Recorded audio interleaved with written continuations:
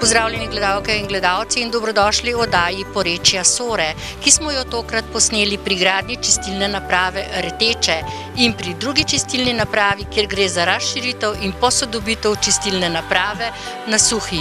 Več o samem projektu pa pove slika.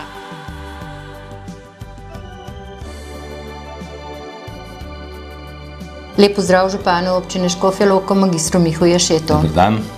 V lanskem letu ste začeli z enem največjih projektov v zgodovini Škofje Loka, torej eni eh, največjih investicij in med katero spada tudi razširitev in posodobitev čistilne naprave na Suhi. Eh, zakaj je bila pravzaprav potrebna posodobitev in koliko, odkje vse se pač splakujejo v čistilno napravo? Ureditev porečja SOR je dejansko največja investicija občine Škofje Loka v celi zgodovini.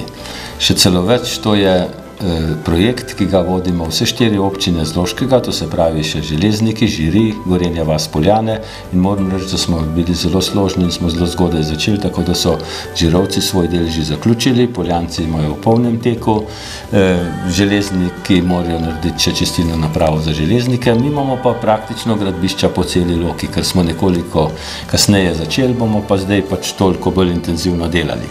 In eh, Škofja Loška čistilna naprava na Suhi je pravzaprav naprava, ki je začela delovati ena prvih v Sloveniji, že od leta 1971. In seveda, v teh letih se je tehnologija mrsikaj spremenila, to je po eni strani, po drugi strani pa tudi e, sama zahtevnost čiščenja ni, je, oziroma zakonski predpisi so se toliko zaostrili, da moramo imeti zdaj še dodatno čiščenje.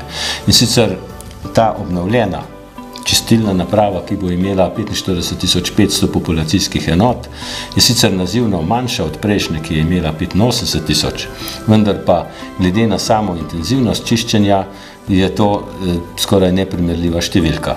Ker v tej novi čistilni napravi bomo mi očistili vse tisto, kar je bilo že prej očiščeno, poleg tega pa še nitrate in fosfate, ki jih prej nismo čistili, in pa zraven bo še en poseben oddelek oziroma poseben, poseben del, ki bo čistil blato iz malih čistilnih naprav. Med drugim tudi iz čistilne naprave v Retečah, ki jo zdaj pravzaprav tudi je že zgrajena in bo začela kmalo poskusno obratovati. Sama čistilna naprava je pomembna zaradi tega, da bomo dejansko skladno zakonsko, zakonskimi določili in zavezami države Slovenije naprem Evropske unije eh, do leta 2015 očistili vso odpadno vodo iz urbanih naselij, ki imajo več kot 2000 prebivalcev. In ta eh, cilj nam bo seveda pravočasno uspel. Čeprav moram reči, da je samo uh, izgradna čistilne naprave je nekoliko v zamudi in sicer zaradi dveh razlogov. Glavni razlog je, da je bila lanska zima izjemno neprimerna za gradno. Nekako tri mesece so gradbeniki zgubili, če se spomnite, praktično vsak mesec ali pa vsake tri tedne je padel sneg. Za, v marcu in aprilu pravzaprav vsak ponedeljek je bil bil, tako da res se je šele v sredini aprila začela normalna gradbena sezona, tako da so zamudili sezono za izgradbenega celega bazena. Eh, po drugi strani so naleteli na tem povsem novem bazenu, eh, na relativno precejšnje težave zaradi dveh razlogov. Eno je, da so odkrili tam štiri relativno močne izvire, izvire vode, ki, jih je bilo, ki jo je bilo treba črpati in pa zemljina je bila bistveno oziroma kamnina je bila bistveno drugačna, kot so predvidevali.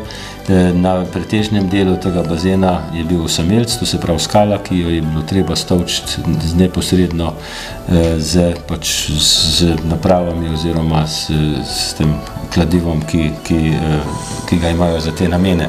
Tako da zdaj pričakujemo, zdaj prav, pravzaprav je velik del eh, naprave že narejen, eh, Izved, izvesti je potrebno še zadnji, zadnji del, zadnji bazen in pa seveda potem še okolico in tiste pomožne objekte, tako da predvidevamo, da bo nekje do konca meseca junija vse narejeno, zmontirana tudi vsa oprema.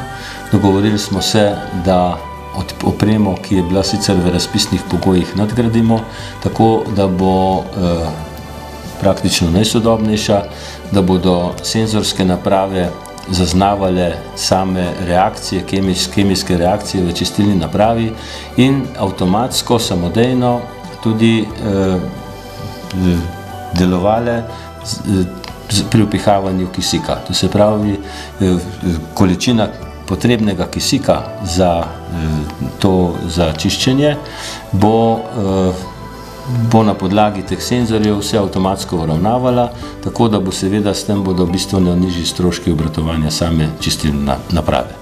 Kako gradna poteka? Zdaj gre pač vse tako po tekoče, po terminskem planu, kot je bilo rečeno, razen tisto, kot ste že omenili, zaradi dolge zime, zaradi kar se je vleklo. Ja, ta zamuda nam pomeni praktično skoraj celo sezono, ker, ker na jesen se ne more zaganjati nova naprava, ker rabi pač dost eh, tale flora v, oziroma vegetacija notri v čistilni napravi, bakterije, ki pravzaprav izvajajo to čiščenje. Eh, rabijo določeno temperaturo, vsaj zato, da eh, zaženemo, predvsem v začetku delovanja, tako da računamo, da bo poskusno obratovanje začeto tam nekje v mesecu juliju in potem pa eno leto traja poskusno obratovanje.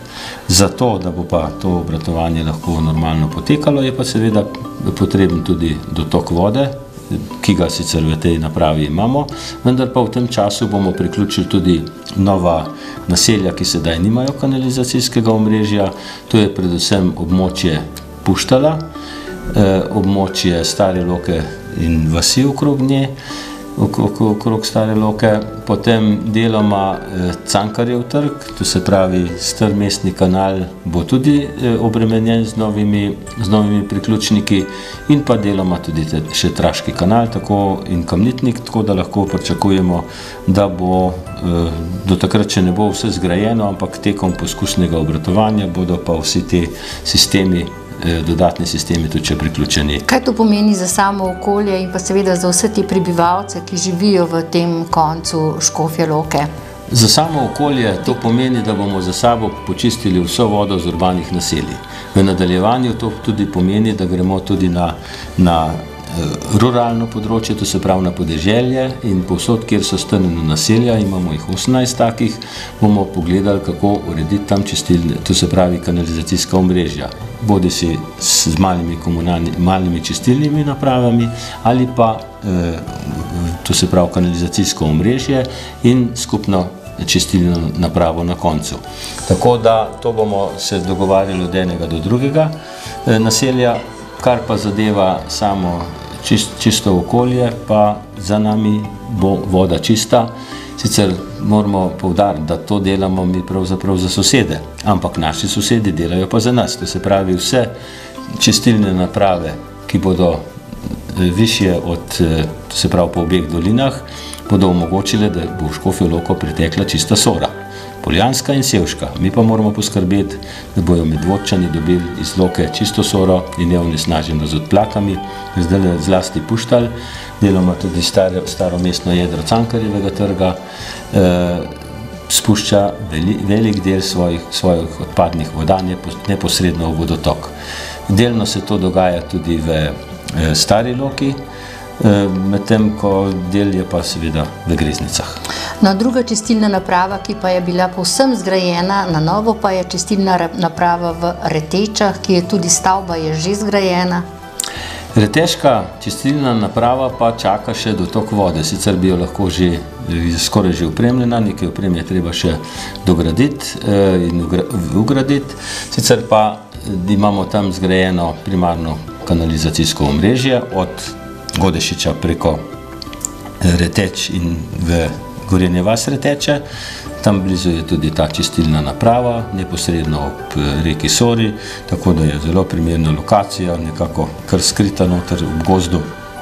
Mora pa seveda dobiti še sekundarno omrežje, preden lahko začne obratovati, ker mora imeti pač vodo eh, odpadno. In sekundarno omrežje smo zdaj že začeli graditi in računam, da bo v naslednjem letu bodo že priključki, potem pa eh, seveda spet enoletno obdobje, eh, poskusnega obratovanja. Kaj to pravzaprav pomeni, da govoriva sedaj, da vse te vasi, ki so v okolici te eh, čistilne naprave reteče, že imajo kanalizacijske priključke? Ne, to pomeni, da kanalizacije tam sploh ni bilo, Aha. da je zdaj narejena primarna kanalizacija, da v naslednji fazi bomo zgradili še sekundarno kanalizacijo, to se pravi kanalizacijo po posameznih ulicah, če tako rečemo, to je zdaj glavni vod, od Godešiča do čistilne naprave, sedaj moramo priključne vode iz vseh e, ulic pripeljati in na ta sekundarne vode se pa neposredno priključujejo posamezni objekti in takrat je pravzaprav kanalizacijsko omrežje usposobljeno za delovanje in čistilna naprava lahko začne s poskusnim obratovanjem.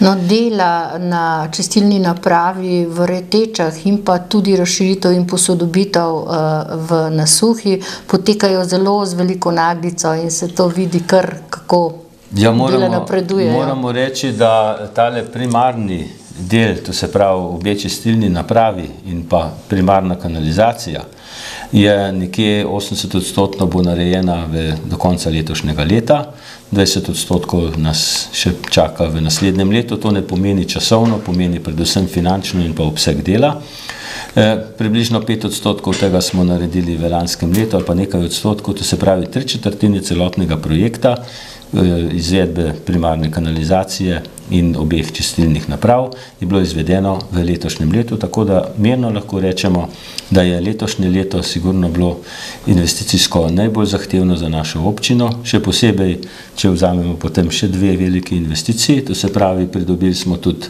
smo tudi eh, možnost gradne in nepovratna sredstva za izgradno novega vodovoda, eh, se pravi primarnih vodov vodovoda in pa seveda trije srčni ali pa trije srečni možje so nam prinesli tudi novoletno darilo, da bomo takoj po novem letu lahko nadaljevali pa največji finančni projekt v naši občini, ki pa ni občinski projekt, ampak državni, to je pa izgradno južne loške obvoznice oziroma poljanske obvoznice, ki bo omogočila normalen potek ali pa promet skozi mestno jedro ali pa mimo mestnega jedra in s tem ureditev razmer stanovalcem, ureditev prometnega režima, ureditev starega mestnega jedra skladno z novo študijo, ki je bila v letošnjem letu eh, nagrajena oziroma z novim projektom, ki je bil nagrajen v letošnjem letu in pa seveda omogoči tudi razvoj Poljanske doline in Severne Primorske.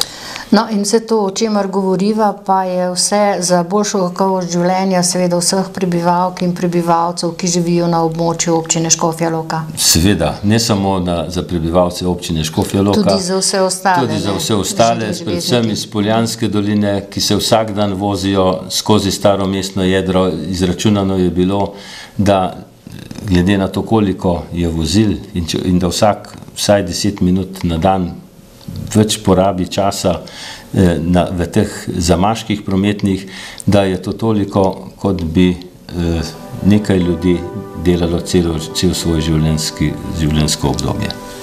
Najlepša hvala za pogovor. Prosim.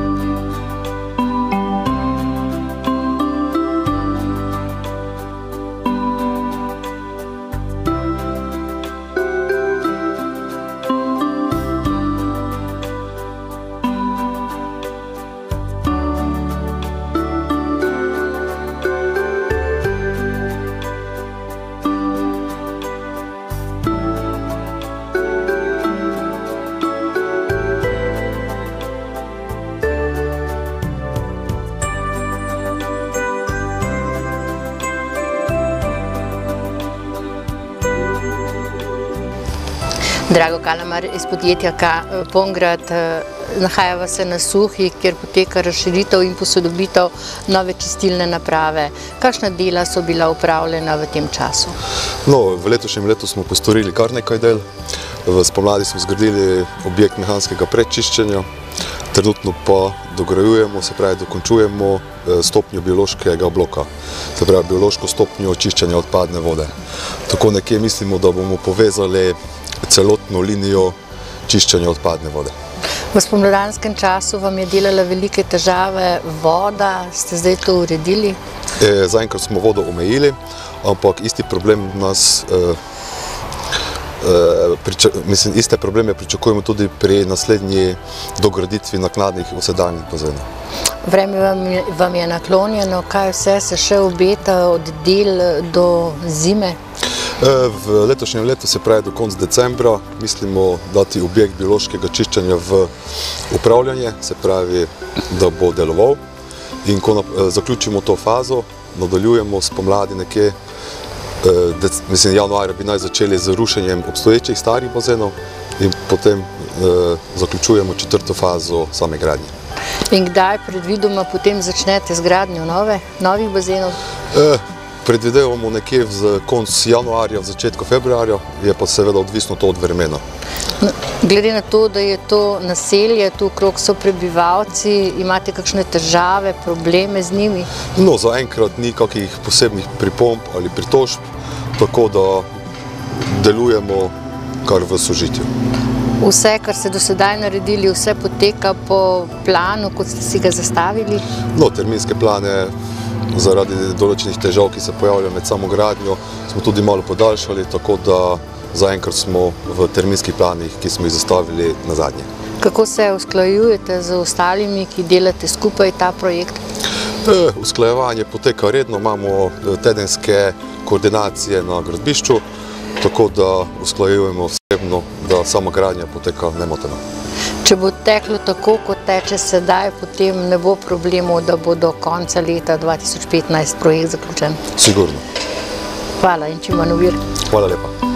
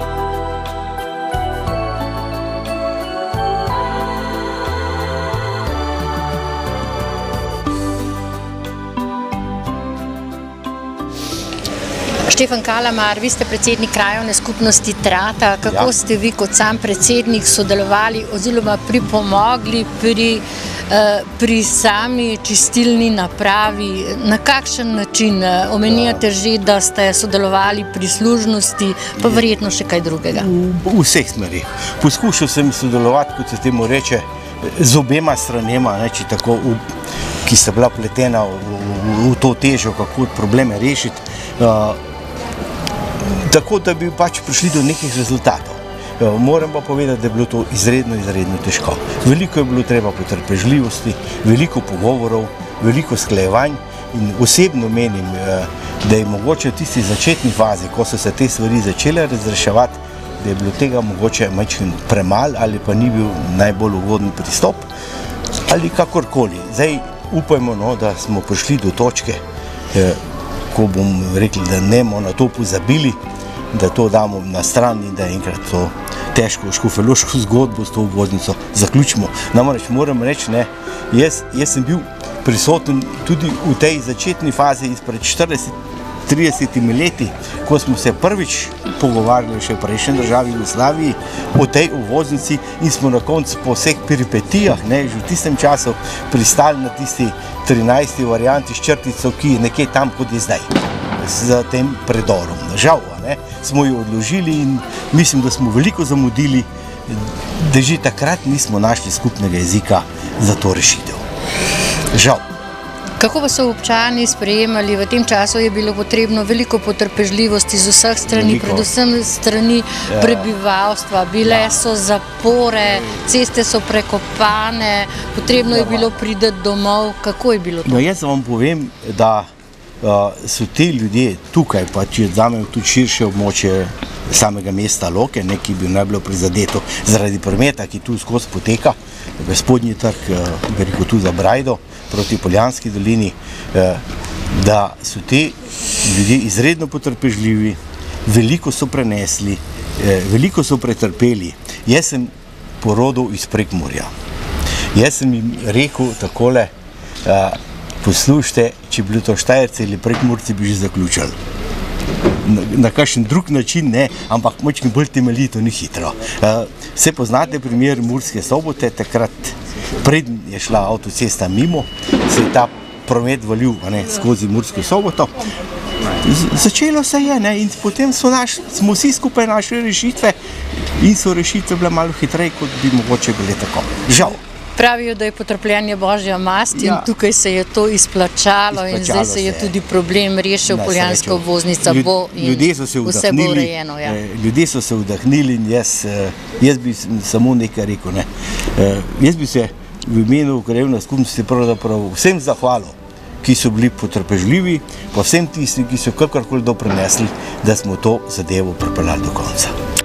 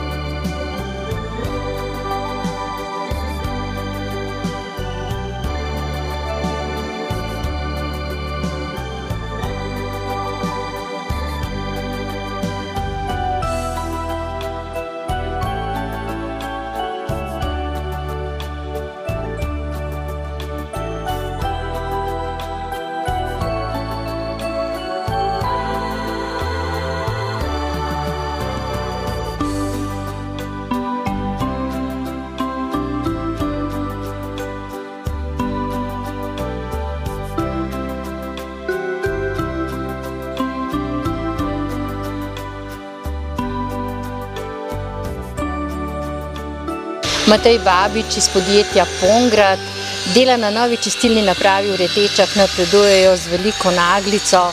Kaj vse je bilo zgrajenega do sedaj?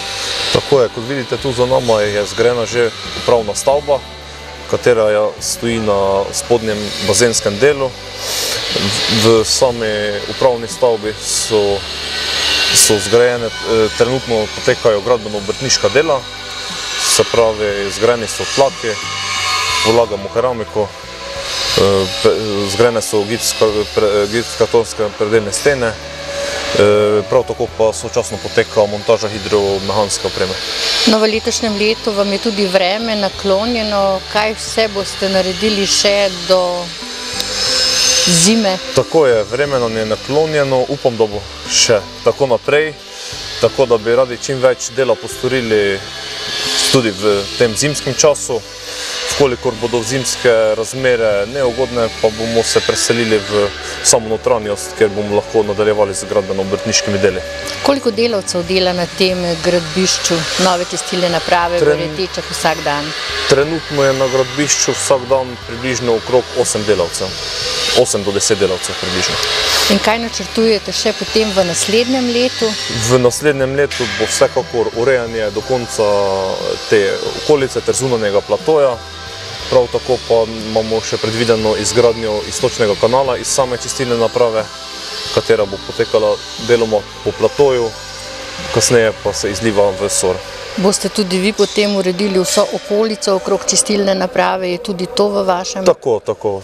V, v, do konca bomo zgradili tudi vso okolico, komplet z asfaltiranim, z asfaltiranim platojem pred eh, čistilno, eh, ograjo ok, eh, okoli same čistilne ter asfaltirano dovozno cesto do same čistilne. Želim vam, da vam delo tako teče, tekoče kot sedaj in čim manj ovir. Hvala.